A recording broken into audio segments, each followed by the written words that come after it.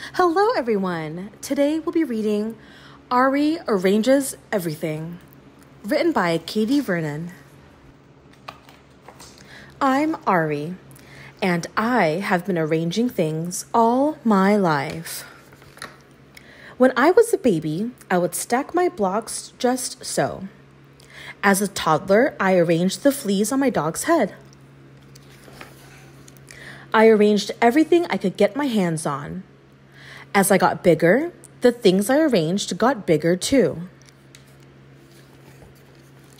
I arranged all the flowers in our garden. Then I asked my neighbors if I could arrange their flowers. They didn't seem to mind too much. Pretty soon, I had arranged every flower in town, from asters to zinnias. But I wasn't done. I arranged every fruit and vegetable at the market. I arranged the whole hardware store, including the kitchen sinks. I even arranged the kids at the pool and the afternoon jazzercise class, and every unicorn stuffy at Unicornicopia. I loved all my arrangements, though I wasn't sure if they were loved by all. Still, I really wanted to create my ultimate arrangement something grand, something that had never been arranged before.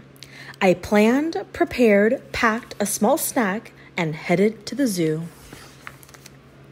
Everything was going perfectly. Until I noticed it wasn't perfect at all.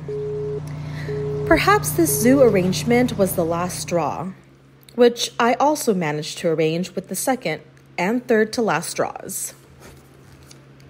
My ultimate arrangement was an utter disaster.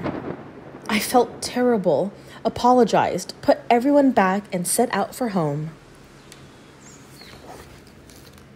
I looked up at the clouds and realized maybe some things can never be arranged, and that's okay.